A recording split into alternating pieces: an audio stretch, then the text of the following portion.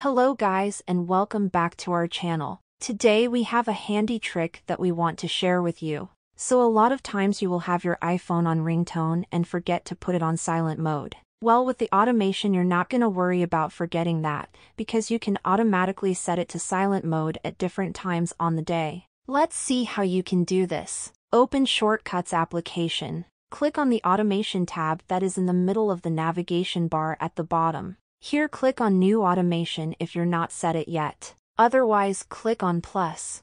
Choose Time of Day. Choose the time when you're gonna be at school.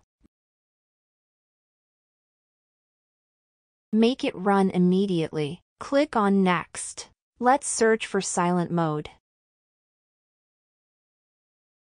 Click on Silent Mode. Here you can see my iPhone doesn't support that, but maybe your iPhone can. Make sure it says turn silent mode on, and click done. This trick will help you stay focused and organized at work or at the school. Hope that you like this video. If this video helps, you give it a thumbs up and subscribe for more content like this. See you in the next one.